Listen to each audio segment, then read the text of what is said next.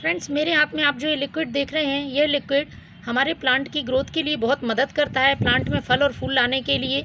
बहुत helpful liquid है और हमारे घर में सभी के पास ये उपलब्ध हो जाता है। इसकी बहुत ही कम क्वांटिटी लगभग दो एमएल से पाँच एम तक की क्वांटिटी में आप अपने गार्डन में बहुत सारी समस्याओं से छुटकारा पा सकते हैं। तो चलिए आज मैं आपने वीडियो में इसको बताती हूँ कि ये क्या है और इसे फर्टिलाइज़र के रूप में आप कैसे यूज़ कर सकते हैं और गार्डनिंग से जुड़ी कौन कौन सी समस्याओं में ये यूज़फुल है।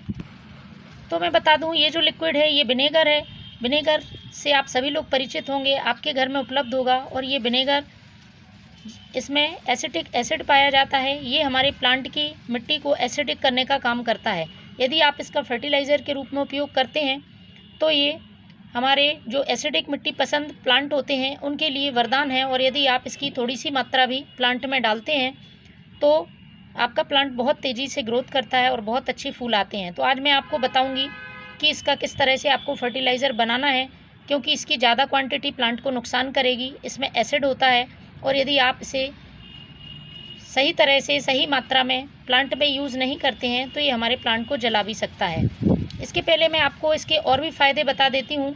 यदि आपके प्लांट में मिट्टी में किसी तरह का फंगस है तो उस फंगस को दूर करने के लिए आप इसका यूज़ कर सकते हैं।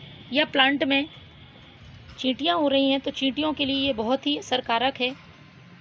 जहाँ जहाँ पर चींटियाँ आती हैं, वहाँ पर आप इसका स्प्रे करते हैं तो चींटियाँ दूर भाग जाती हैं। साथ ही यदि गिलहरी या छोटे छोटे से इंसेक्ट आते हैं तो आप उनको दूर रखने के लिए इसको कॉटन बॉल में भिगो कर विनेगर को और उसको अपने गमले के पास रखें। इसकी गंध बहुत तेज़ होती है और उसकी स्मेल से इस तरह के इंसेक्ट हमारे प्लांट्स को परेशान नहीं करते हैं।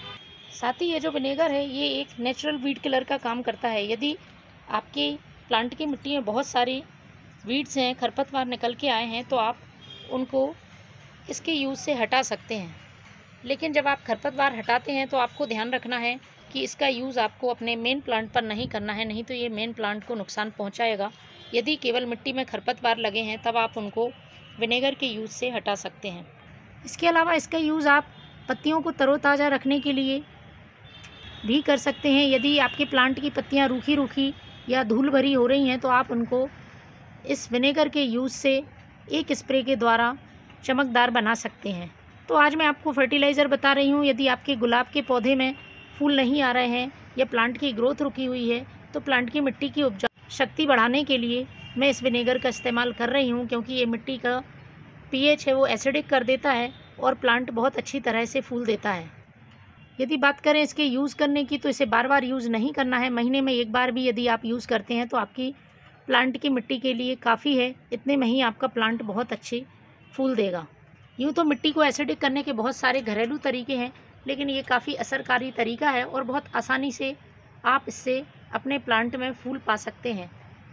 इसके अलावा प्लांट की, यदि पत्तियों में या टहनियों में किसी तरह के इंसेक्ट अटैक है तो उसको भी आप स्प्रे के द्वारा दूर कर सकते हैं, लेकिन विनेगर का स्प्रे करते समय ध्यान रखना है कि आपको इसका डाइल्यूट ज़्यादा करना है कंसनट्रेशन फॉर्म में यूज़ इसे नहीं करना है, नहीं तो ये प्लांट की पत्तियों को जला देंगे और तेज़ धूप में इसका यूज़ नहीं करना है। आप सुबह या शाम में, ठंडक के मौसम में इसका यूज़ कर सकते हैं। तो चलिए शुरू करते हैं, किस तरह से हमारे प्लांट में फर्टिलाइज़र देना है हमें।